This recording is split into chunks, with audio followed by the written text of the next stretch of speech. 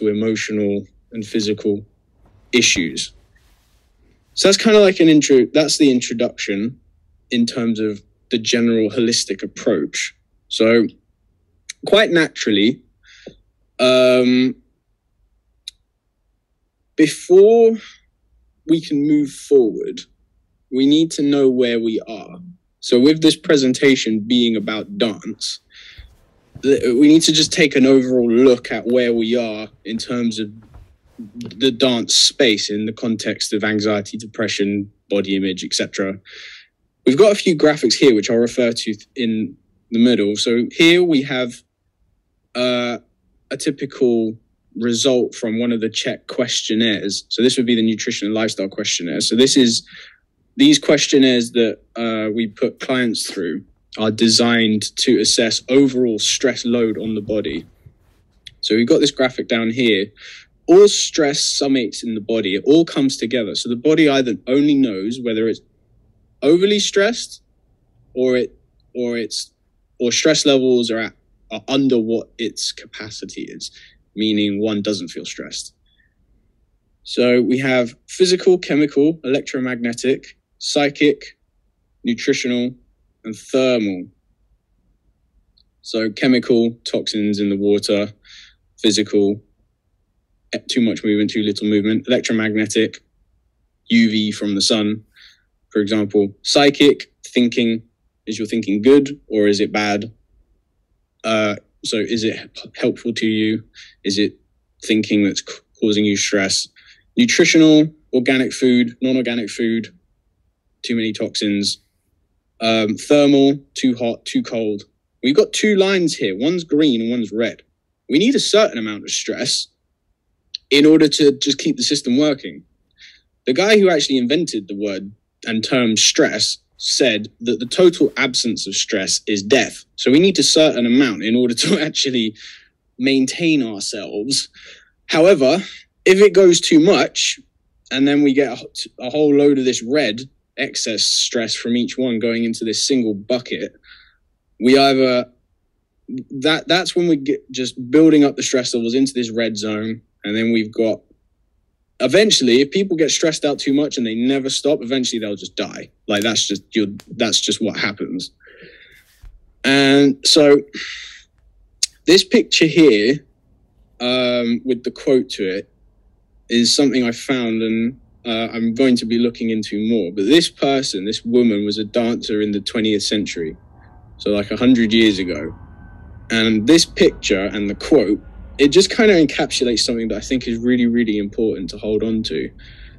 It's the just the root reason dance is an innate part of the of human expression.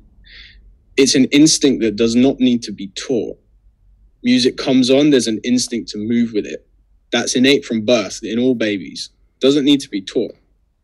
The instinct to shoot a basketball or kick a football might need to be shown once and then the passion can develop. But right from birth, when music's on, the instinct to move to it is there. So, in terms of how primal and interwoven dance is with the human experience and just the human essence is so much deeper than a lot of other things. We can't forget how entwined that expression is with the soulful part of us, which is why Isadora Duncan here says the dancer's body is simply the luminous manifestation of the soul, which I think is a really beautiful quote. So let's get into these points and overview where we actually are currently. So when it comes to issues coming up, be them physical or mental, emotional, the general focus is on things like physiotherapy, personal trainers, osteopathy, massage, chiropractors, psychologists, therapists, and all that. And those are all really important contributions. The, the, one of the things that we do have at the same time, despite access to all of that stuff, is injury rates and the numbers of people having mental emotional challenges, regardless of access to all of this, all of these treatments, it's still not really being dented. It's still very high. And that's to me, that seems a little bit backwards. If we have more access to all of these different healing modalities, surely the numbers should be coming down. And this is where the holistic principle comes in. Treatments are great and they're very important. However, the changes from them will not happen in a lasting manner unless they are built on top of a holistic foundation, meaning each treatment and therapy understands how they interweave and relate to other therapies. It doesn't work if we have sectionalized approaches where you do this for that and that for that, but none of those treatments are talking with each other and understanding how they fit to how they fit to to each other and how one affects the other because a human isn't separated like that our mind is not separated from our body our body is not separated from our mind what happens to one affects the other and vice versa so we with that being the truth of our system we can't treat that kind of a system in any other way than in the way that it is, which is holistic and integrated. Um, we'll come on to that a bit more as the presentation goes on. But uh, simply put, dancers are too stressed out all the time. And with the art form being physical, so, and naturally, naturally so, there's a large emphasis on exterior development, so like tangible stuff, because the art form is the ability to like skillfully move one's limbs to music. So, especially if someone's going to do it with a professional focus, then um, there's going to be a lot more emphasis on exterior kinesthetic movement type development.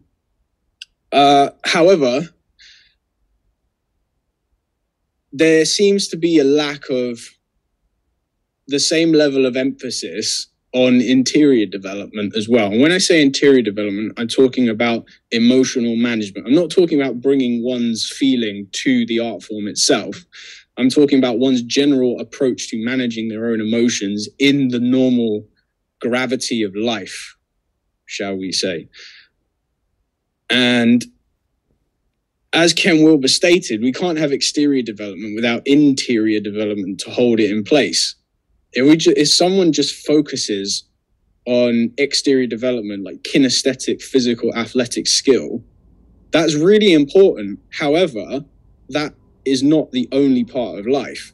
Life is not one tiny bubble, and humans are not one specific aspect like kinesthetic development. We have other interests. We like to go here, we like to do that. We interact with different people just by walking out on the street. So we can't just have one thing. We need to have a lot of internal development to be able to just navigate normal life and our own humanness outside of what we're doing as well. So dance is too stressed out. That means that we haven't got proper management of these main stresses. So we've got too much of the red line going into the bucket, which means that stress levels are just a bit too high. And so there's also like a a bit of an abundance, and this is more so with the people that want to do it professionally